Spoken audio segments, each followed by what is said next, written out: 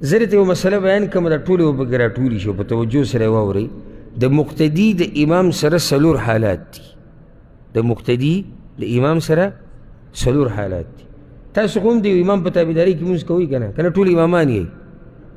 ها که ټول امامان یئ چې بیا د امامانو دا مسلې شروع کړو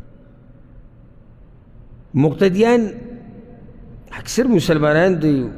امام په تابعداري کې مسکین لازم دي چې دا مسلې منګه یادې کو لازم دي چې منګه یادې کو زموږ ټول ته په مخه ضرورت راشي نو د مقتدی د امام سره څو حالات دي سلو اولنې دی هغې ته په عربۍ کې متابعه ویل کېږي تابعداري یا متابعه ورته ویل کېږي المتابعه تابعداري چې مقتدي تابعداري کوي د امام نه ترې مخکې کېږي نه ورسره یو ځای کېږي او نه ترې ډېر وروستو کېږي یاده کوي دا تابعداري څه ته وایي نه مخکې کېږي نه ورسره یو ځای کېږي نه ترې ډېر وروستو کېږي معنی دا چې وروستو دی ترې خو ورپسې دی ډېر نه دی وروستو تابعداري دی ته یعنی امام رکوع له لاړ دی رکوع له ځي دا خبره یاده کوي امام رکوع له لاړ دی رکوع له ځي دا نه چې امام رکوع له روان دی ته هم ور روان او زه ډېر سخت خپه شوم چې ما په دې بعضو ملګرو کې دا مسله لیدلې ده هغوی پرې درسونو کې هم کیني او ځان ته به دیندار هم وي موږ په دین پوه دی ځان له د امام سره کته برک کېږي تابیداری دی ته وي لکه امام سجدې له روان دی الله اکبر چې امام سجدې له لاړ ته به سجدې له ځې دا نه چې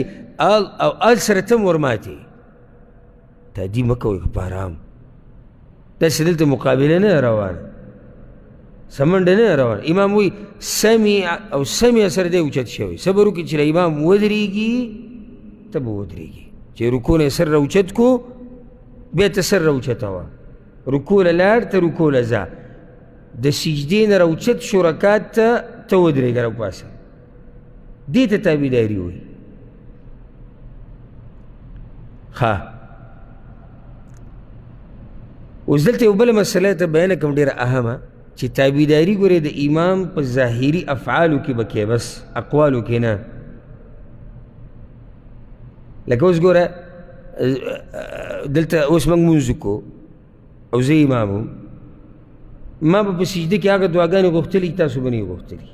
او کېدی چې تاسو هغه دعاګانې غوښتلې چې ما نه غوښتلې نو تابعداري وشوه ها نه دی شي یا د ماسپخین په مانځه کې مونږ ولاړ یو یا مازیګر کې اولني دوه رکعاته به ډک کې یو صورت به پکې وي امام یو صورت وي او مقتدي بل صورت وي تابعداري وشو په اقوالو کې نه نو تابعداري په څه کې پکار ده افعالو کې کارونو کې افعال کارونو ته وایي امام چې کم کار کوي ظاهري دی کې به تابعداري کې اقوالو کې تابعداري چرته هم نه کېږي یا ما په رکوع کې سبحان رب العظیم څلور پیرې وي تا دوه پیرې وي یا تا درې پیرې وي او ما یو پیرې وي تابعداري وشوه نو که چېرته موږ په مقتدیانو باندې د امام تابعداري په ویناګانو کې هم لازم کړو نو خبره به ډېره ګرانه شي او ممکن هم نه ده که نه ممکنه ده نه ده ممکنه نو د امام تابعداري صرف په ظاهري افعالو یعنی کارونو کې په دې کې به کېږي په ویناګانو کې تابعداري نشته په ویناګانو کې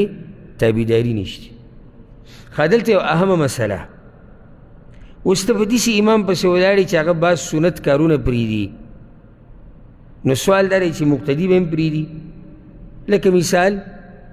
رفع الیدین کول مانځه کې رکوع نه راپاس رکوع له ځي الله اکبر لاسونه اوچتې رکوع نه چې راپاسې سمع الله لمن حمده لاسونه اوچت هغه یې مولوي صاحب نه کوي او ما ته خو امر شوی دی چې تابعداري د امام به کې الله او د الله د پیغمبر د طرف نه دا مسله بیان شوې ده نو چې د امام تابعداري کوي امام په دې سنتو باندې عمل نه کوي نو زه به عمل نه کوم نو دا خبره غلطه ده ولې غلطه ده ګوره رفع الیدین که ته وکړي او امام یې ونه کړي نو ته د امام نه نه وروستو کېږي او نه ترې مخکې کېږي تابعداري کې څه فرق راځي ها هیڅ فرق پکې نه راځي یعنی ته ته رکوع نه امام راپاسېدو سمع الله لمن حمیده رفع الیدین ونه کړو او ته سمع الله لمن حمیده یا ربنا لك الحمد کې علماو منځ کې اختلاف دی دا مسله به راشي ته راپاسېد ربنا لك الحمد او رفع الیدین دې ورسره وکړو ته د امام نه مخکې شوې او سره یو ځای شوې ډېر ته وروستو شوې تابعداري خو شوه که نو داسې دلیل لري چې مولوي صاحب نه کوي زه به نه کوم نه ته سنت طریقه کوه یو امام دی هغه امین په پټه وایي ولضالین او بیا غلی شو او ته آمین نو تابعداري کې څه فرق راغی ته د مخکې شوې وروسته شوې دي یو ځای لګیا نه بلکې تا ته اجر زیات میلاویږي ولې په صورت طریقه دې عمل وکړو د رسول صلی الله علیه وسلم په طریقه دې عمل وکړو نو دا یو ډېره اهمه مسله ده یعنی ما نو خو یو څو ځایونو کې تپوس هم دې باره کې شی دی چېرې امام کله بعض سنت کارونه پرېږدي نو موږ به ورسره هم پرېږدو که نه مسله یو راځي باب وروسته بیان کوم هغه لږ اوږده مسله ده خپل ځای کې به راشي انشاءالله ښه ګوره د حدیث د برا ابن عازب رضی الله عنه دی او انشاءالله هم دی دی کتاب کې روان دی او په دې حدیث پسې دی تقریبا چې هغه وی کله چې به رسول صلی الله علیه وسلم دا وی سمع الله لمن حمیده یعنی رپا بسیدو او موږ به ودریدو یو موږ رپاسیدو نو د هغه وخت پورې به موږ کې یو کس ملا نه ټیټوله چې څو پورې به رسول الله وسلم پوره سجدې له نه وتلی دې ته تابعداري وایي ښه یعنی امام وایي سمع الله لمن حمده ودرېد او ته ودرېدې بیا امام وی الله اکبر څه دی لاړ سجده دا نه چې ته امام وینه او سر یې داسې ټیټ کو او ته ورماتې کله به سجدې له ځي چې امام سجدې له لاړ شي او زه بیا ویلم تاسو څومره کوم چې اوس دلته ناست یې اورې خبره او سر ورته شړپوي تاسو څنګه د امام تابعداري کوئ چې ما ډېر خلک لیدلي دي بدون مبالغه وایم ما ډېر خلک لیدلي چې دې مسله کې خطا کېږي او له دا به مو چې یعنې مونږ یعنې په صحیح لار روان یو خو دې مسله کې دی خطا شوی نو امام الله اکبر الله یې پکې ویلی نه دی ولاړ امام سمع الله لمن حمده سمع یې ویلی نه دی راپاڅېدلی صبر کوه تادي مه کوه چې امام یو کار وکړي بیا پسې ته ورځه ها یو ځکې علما استثنایي مسله بیانوي او دا نادره فایده ده هغه ده که چېرته په دې سي یو جومات ته ورغلی او امام یې ډېر سپیډ والی دی لکه زموږ ملک کې داسې کېدی شي ته جومات ته ورغلی